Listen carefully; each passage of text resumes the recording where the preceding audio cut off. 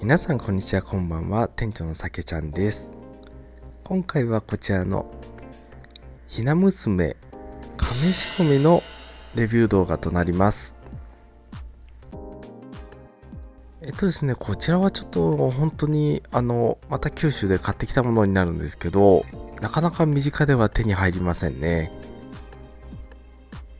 それではレビューいってみたいと思います。まず海鮮地なんですけど熟成感の効いた旨味を強く感じる香りだと思います。しかし、まあ、それだけにおからずに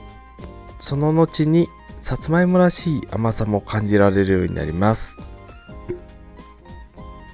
ロックでも香りは同様です。含むと透明感甘み酸味コクや香ばしさがあります。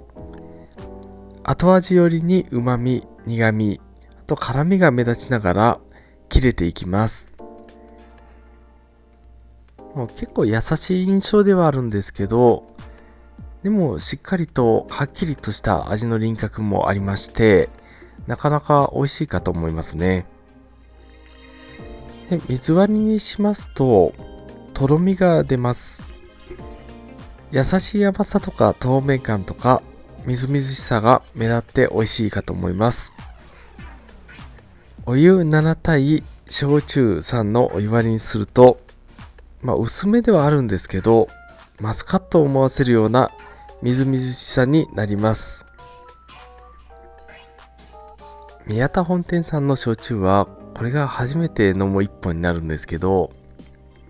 とてもレベルが高いと感じましたので他にもいろいろ買いたいところなんですけど、取り扱い店がとにかくないので、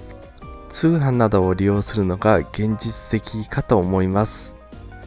でも、そうですね、今いろいろ購入してみたいという気持ちにはなりました。